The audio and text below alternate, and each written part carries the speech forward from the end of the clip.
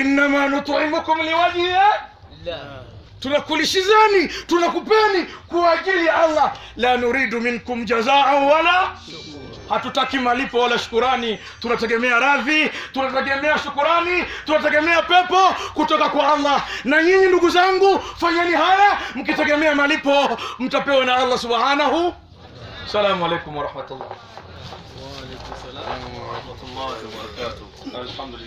جزاك الله خير jamani tungekuwa kwenye siasa tungesema ni raha sio raha?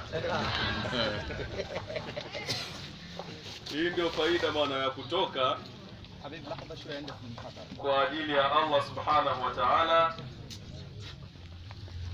Sidhani kama kuna mtu ata, atajutia kutoa shilingi ngapi wala sidhani kama kuna mtu atajutia kutembea kwenda kwenye nini, kwenye muhadhara.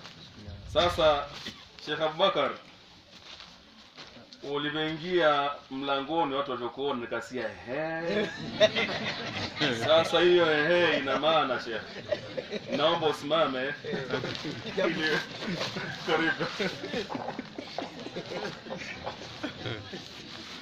Assalamu alaikum warahmatullahi taala wabarakatuh. Wa alaikum salam